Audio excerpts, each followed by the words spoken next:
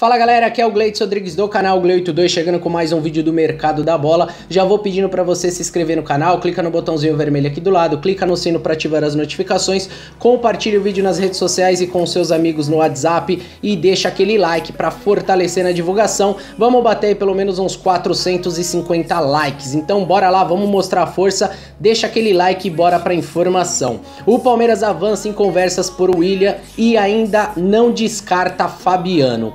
Interessada em William do Cruzeiro, a diretoria do Palmeiras evoluiu nas conversas para ter o atacante. Simultaneamente a isso, ainda não desistiu do lateral direito Fabiano, embora o jogador já esteja em Belo Horizonte. As negociações a princípio seriam independentes. A situação de Fabiano, que vestiu a camisa alviverde por empréstimo na última temporada, está ligada a de Robinho, meia que está emprestado ao Cruzeiro. Os dois clubes discutem uma troca definitiva dos direitos econômicos, cada clube ficaria com 50% dos direitos.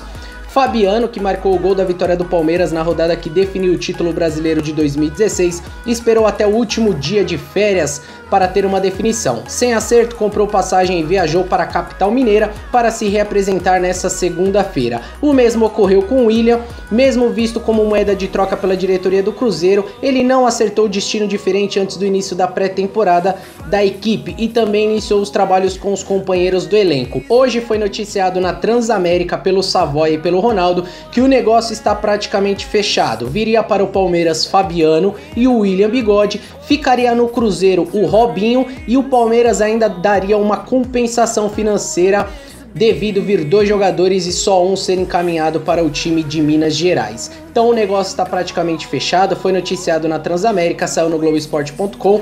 Provavelmente nos próximos dias o negócio deve ter um desfecho positivo para o Palmeiras.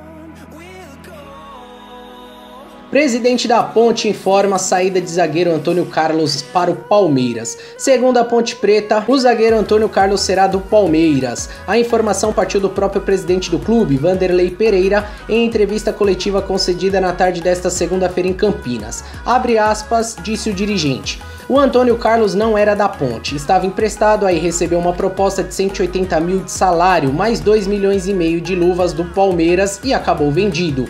O defensor de 23 anos teria sido uma indicação de Eduardo Batista, técnico que dirigiu a Macaca na última temporada e foi contratado pelo Palmeiras em 2017. Antônio Carlos começou a carreira no Fluminense e ainda na base transferiu-se para o Corinthians, onde se profissionalizou. Teve destaque pelo Havaí entre 2014 e 2015 e passagem discreta pelo Flamengo. Ele é vinculado ao Tombense, clube que o empresário Eduardo Durão utiliza para registro de atletas. Se você gostou desse vídeo, deixa aquele like firmeza aí para fortalecer na divulgação. É sempre importante, todo dia eu trago alguma novidade do mercado da bola. Infelizmente ou felizmente para a torcida do Palmeiras, quem tá roubando a cena nesse mercado da bola é mais o Palmeiras que tá contratando todo mundo. Aqui é o Gleitz Rodrigues do canal Gleito 2, eu vou ficando por aqui, nação palmeirense, até a próxima, tchau, tchau.